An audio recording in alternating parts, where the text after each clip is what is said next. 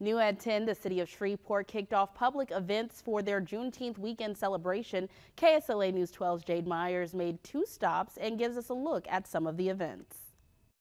Tonight, the Shreveport Bossier African American Chamber of Commerce held their annual meeting and award ceremony, kicking off Shreveport's Juneteenth celebration. Each year we have an annual meeting to celebrate all of the black businesses in the Shreveport Bossier area that have succeeded and really progressed well. Anderson said the power of collaboration is the chamber's theme this year. I love being able to celebrate black businesses here in Shreveport Bossier. Not oftentimes do our business owners get a chance to actually, you know, get dressed up and celebrate themselves, take a day off work and really, you know, enjoy what they're doing and be around other business owners. Versified by Poetic X was also part of the kickoff at the Robinson Film Center. The Juneteenth celebration has events until next Monday.